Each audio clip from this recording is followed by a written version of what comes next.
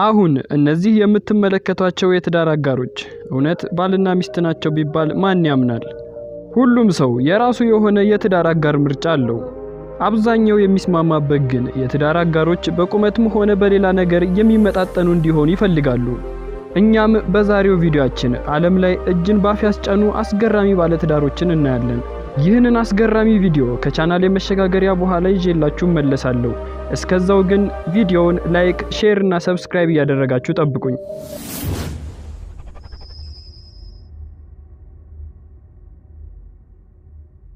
በመጀመሪያ የምንመለከተው Spider Sisters የተባሉትን ህንዳዊ እህትማማቾች ነው።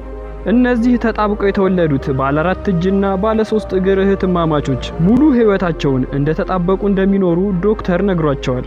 ባላቸው ገጽታ የበርካቶችን ቀልብ መሳብ ችለዋል።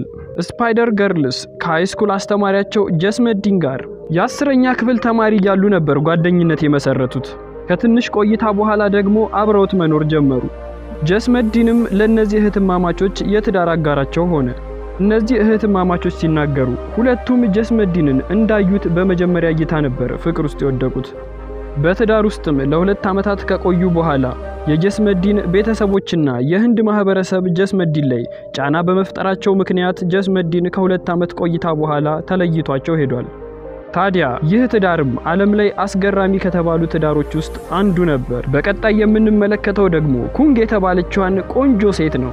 ኩንግ እጅጉን ቆንጆ የተባለች ሴት ናት። ብዙ ያያትን ወንድ ቀልብ የሚስብ ቁመናም አላት። ነገር ግን ፍቅር እውር አይደል? ልቧን በፍቅር ያሸነፈው ሰው አንድ ሜትር ቁመት ያለው ይህ የምትመለከቱት ግለሰብ ነው። እሷ ስትናገር ባሌ ትክክለኛ ባል ነው ትላለች። በየጊዜው በ social media በሚያጋሩት ፎቶም በብዙዎች ዘንድ እንዲታወቁ አድርጓቸዋል። አሁን ደግሞ ማይክሮፈነልን ይተዋወቋት። ይህች ሴት ወደ ጎን ከመስፋቷ የተነሳ ጠባብ በሮች አያስገቧትም። በዓለም ላይም ባለ ትልቅ ዳሌ ተብላ በ Guinness World Records ላይ ተመዝግባለች። ባለቤቷ ደግሞ ይህ የምትመለከቱት ነው። እሱ ሲናገር በትዳሬ እጅጉን ደስተኛ ነኝ ይላል። ነገር ግን አንድም ቀን ሙሉ ሰውነቷን ማቀፍ እንዳልቻለ፣ ለዚህ ደግሞ እጆቹ እንዳጠሩበት ይናገራል። የሩፍነል የጎን ስፋት ዙሪያውን 2.4 ሜትር ርዝማኔ አለው። ይህ ደግሞ የቁመቷን ሁለት እጥፍ እንደማለት ነው። በአጠቃላይ ክብደቷ ደግሞ 190 ኪሎ ግራም ነው። የእሷ የጎን ስፋት ከባለቤቷና ከሁለት እህቶቹ ድምር ጋር እኩል ነው። ማሰንን ተዋወቁት። ቁመቱ ሜትር ከ20 ብቻ ነው። ብዙ ሰዎች መልኩንም ቢሆን በአስቀያሚነት ይመስሉታል። ማሰን ከልጅነቱ ጀምሮ በ TV show ዎች ላይ ይታወቃል። ማህበራዊ ሚዲያዎችንም አብዝቶ ይጠቀማል።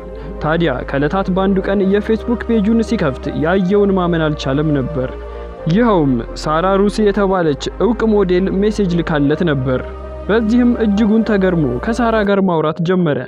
ታዲያ ሳራ ጓደኛው ለመሆን ጥያቄ ስታቀርብለት fake account ነው ብሎ ጠርጥሮም ነበር። ምክንያቱም ሳራ ታዋቂ ሞዴልና መልከ መልካም ሴት ስለነበረች ነው። ታዲያ በመጨረሻ ሰመረና ሳራ የማሰን ባለቤት ሆነች። ማሰን ሳራህን በ27 ዓመት ይበልጣታል። ቁመትም ቢሆን እጅጉን ትበልጠዋለች። ታዲያ ሳራ እውነት ወዳው ወይንስ ገንዘቡን ብላ ገባችሁ? መልሱን ለእናንተ ተውላችኋለሁ። አሁን ደግሞ ዓለማችን ላይ ካሉ weird ከተባሉ ባለትዳሮች ውስጥ ዋነኞቹን ላስቃኛችሁ። ሃና ሮዝ እና ስቴፍ ራጅ ይባላሉ። የ alien ፊልሞችን ካያችሁ ብዙ ይዘታቸውና አለባበሳቸው ለየት ያሉ ፍጥረታትን ታያላችሁ። እነዚህ ጥንዶችም እነሱን መምሰል ነው የዕለት ተዕለት ስራቸው። ያያቸው ሁሉ መንገዱን ገታ አድርጎ ይመለከታቸዋል። እነዚህ የምትመለከቷቸው አለባበሶችን የሚለብሷቸው ዕለት ተዕለት ነው። እነዚህ ጥንዶች የተገናኙት high school ሲሆን ሲያወሩ የሁለቱም ፍላጎት አንድ በመሆኑ አብረው ሊሆኑ ችለዋል።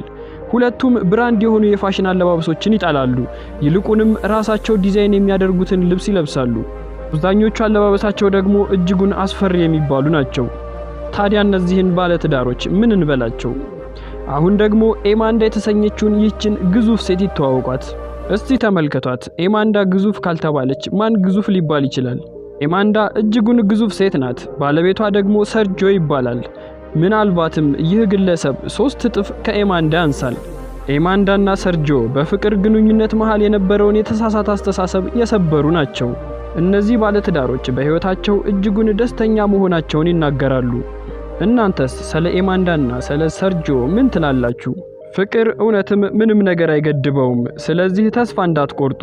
በሌላ ጊዜ በአዲስ ቪዲዮ እስክንገናኝ ድረስ ሰላም ቆዩልኝ። ለዚህ ቻናል አዲስ ከሆናችሁ subscribe ማድረጋችሁን እንዳትረሱ። ዜና አዲስ ሁሌም አዲስ